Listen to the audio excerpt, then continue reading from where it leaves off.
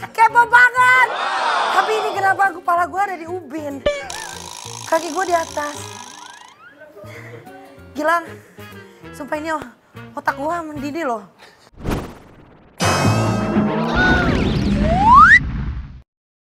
Gilang, gak bisa teriak gue karena gue ketekan Lu otaknya. ngapain sih? Hah? Lu nggak ngeliat tuyul? Gimana sih? Kata orang, kalau datang ke rumah orang itu, kepalanya harus diubinin supaya tahu dia itu pakai aja-ajan atau enggak.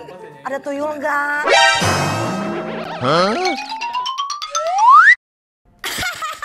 Aduh ya Allah Gilang. Kalau nggak syuting nggak dapet duit. Bener, bener. Eh, tapi gini, karena lu udah datang ke sini, berarti lu harus gua jamu.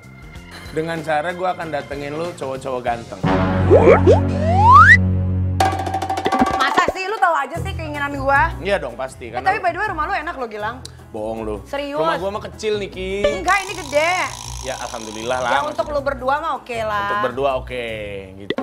Jadi gua mau datengin cowok-cowok. Masa sih? Iya. Ah, coba dong. Syaratnya lu harus tutup mata.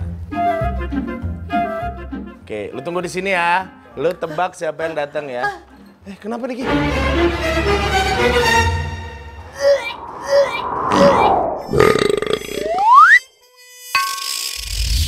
Jangan-jangan rumah lo ada hantunya nih. Enggak, Berasa banget nih di lambung gua. enggak. Lu itu nelenda ini bulu tadi. Yuk, gua panggil ya. Bro, bro, sini bro.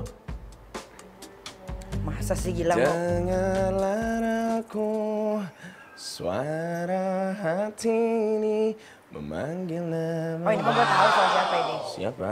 AA Ariel. Bukan. Siapa? Patro. Ah, Irfan. Irfan siapa? Hakim. eh, Niki, gua panggil lagi yang lain ya. Ah, Eh, ya. Maafkan aku menduakan cintamu.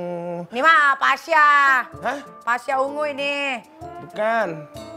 Siapa? Pasha Ijo. Gua panggil lagi ya Niki ya. Ada lagi. Ada lagi. Mana?